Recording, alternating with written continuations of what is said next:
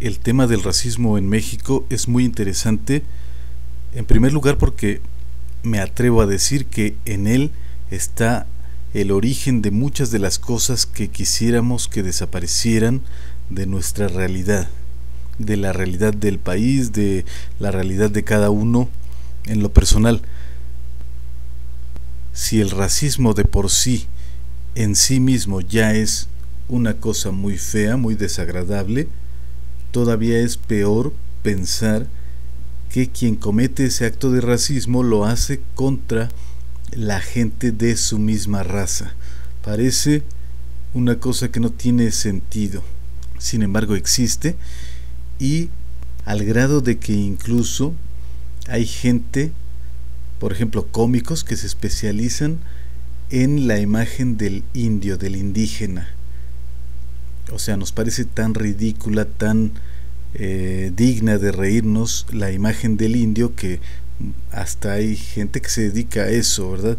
En el cine, en el teatro, en, en historietas, en revistas, en la televisión. Y no solo gente de los medios, también hay personas que en su día a día, así su hablar, su comportamiento, todo es un estarse burlando, se lucen burlándose, haciendo mofa, escarnio del indígena, del indio. El problema es que incluso el hablar de una manera misericordiosa de los indios, pues es una forma de racismo porque no te estás identificando con el indio. Tú crees que el indio es un ser inferior, así como pobres indios, pobres indígenas. Hay que tenerles lástima. Eso es una forma de racismo. Pero la verdad es que en su gran mayoría esos actos de racismo son ejecutados por la gente, por quien los comete, de una manera totalmente consciente.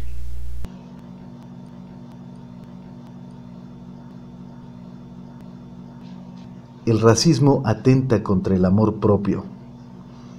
Las expresiones racistas van dirigidas a provocar rencor y falta de autoestima. Lo ridículo, lo feo, lo tonto, es que esos actos de racismo son cometidos por mexicanos contra mexicanos. Es decir, que el mexicano se considera a sí mismo como no indio el mexicano no se considera a sí mismo como indio, como indígena.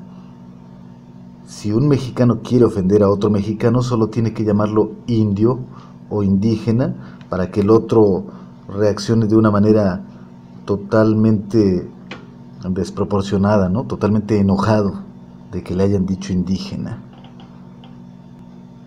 El mexicano cree que el otro es el indio, el otro es el indígena.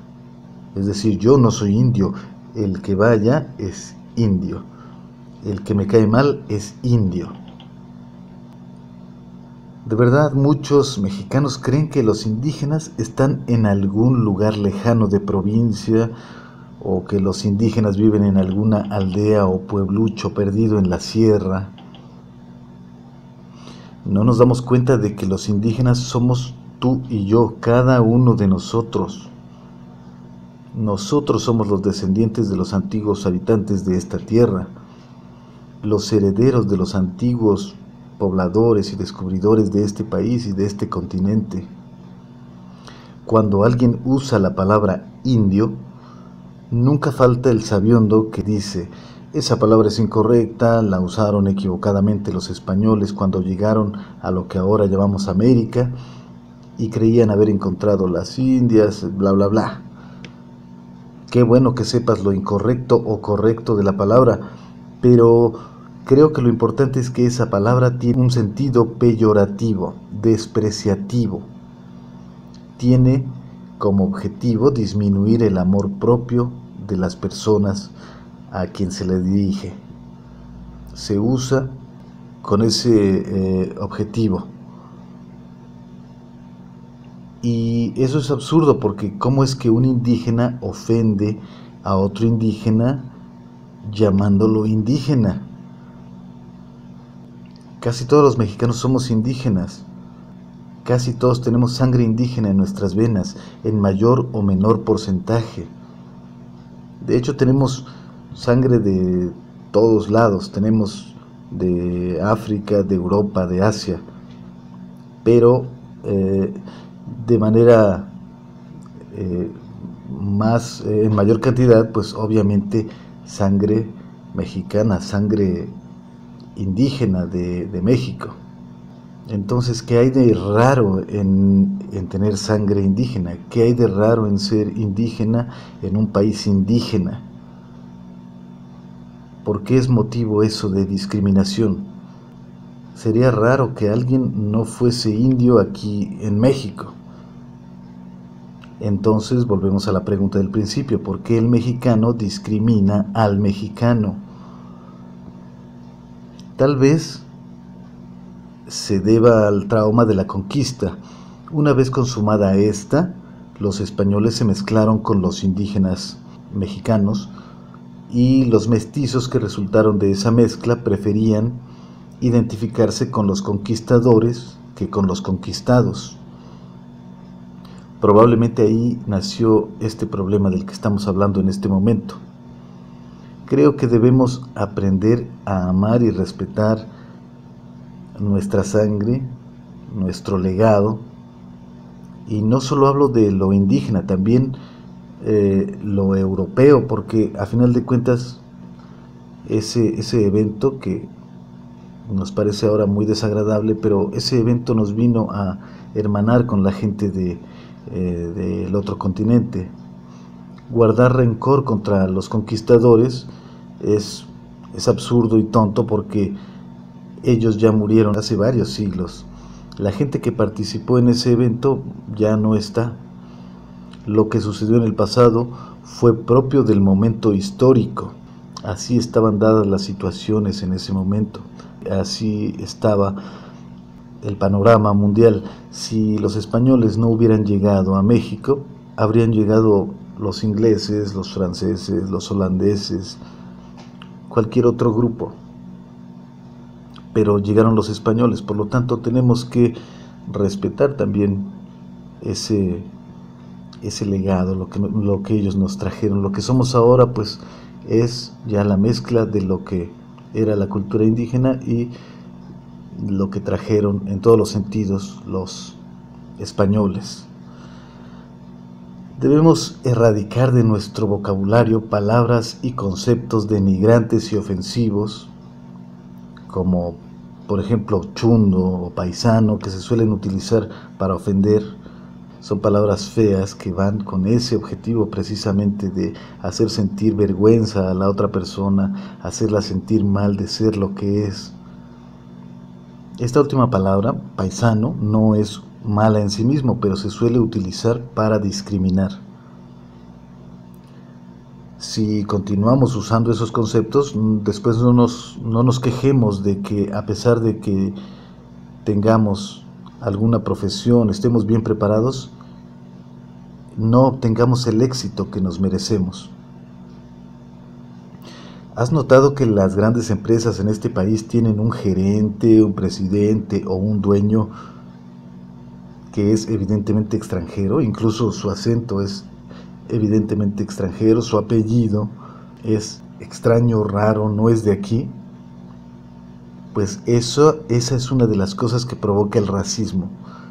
Eso sucede porque respetamos más a los extranjeros que a la propia gente de aquí. Es como, bueno, si ponemos un ejemplo, es como si donde tú vives enfrente hay una familia, a tus vecinos y tú a ellos los quieres más que a tu propia familia. Les das las cosas buenas que tienes, vas y se las regalas en vez de dársela a tu, a tu mamá o a tu papá, a tu padre, a tus hermanos. En vez de beneficiar a tu familia, vas y se lo das a aquella gente porque consideras que son más bonitos o más, eh, no sé, que te caen mejor. Eh, sería, sería una cosa detestable, ¿no? Digo, hay muchas situaciones, pero en general eso sería una situación aborrecible, una actitud que no, no tendría justificación.